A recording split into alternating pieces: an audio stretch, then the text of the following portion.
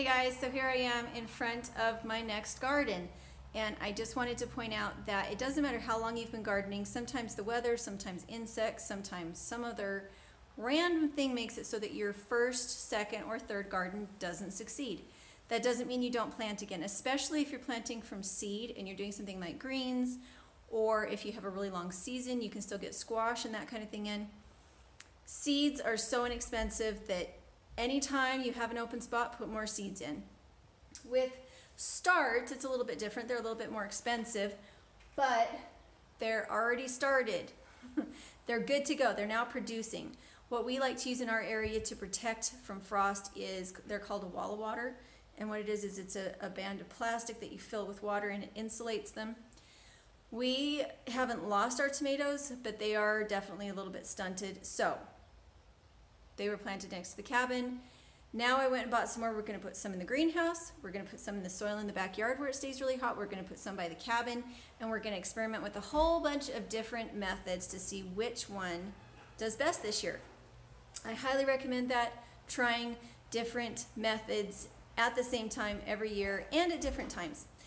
The nice thing is, is that with most garden plants, you will still get a harvest even if you have a short season. Even with green tomatoes, you can bring these in and put them on shelves, on, on like cardboard boxes. Let's see, on, on newspaper or cardboard boxes.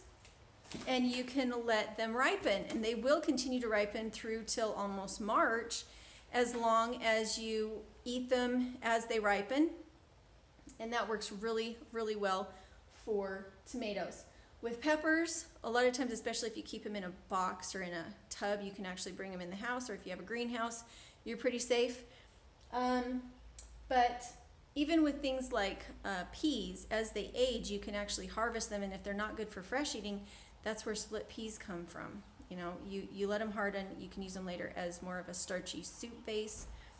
But there's no limit to what you can do with food that maybe isn't quite ripe when the season ends, or as you're going into winter, in late summer, you can actually plant a lot of things like greens and carrots and, and radishes and that kind of thing. And they will grow, and then the cold weather will come and it will stunt their growth. So they're not growing anymore, but they're stored in the ground, and so you can still harvest. So make sure to read some good books on that subject. I really like Elliot Coleman's book, um, The Market Garden. And I think he's also in the Four Season Garden. If you're looking for good gardening seeds, go to Mary's Heirloom Seeds. We'll have the link in the description below. And in fact, maybe I'll find that book too on Amazon and I'll put the link below for Elliot Coleman's uh, Four Season Garden. And hopefully you enjoy this. We are going to go out and get a lot of these in the greenhouse, try a different method this year. And we also have the hotbed greenhouse that we're just finishing up. So lots to come. Hopefully you enjoy it. And we'll talk to you later.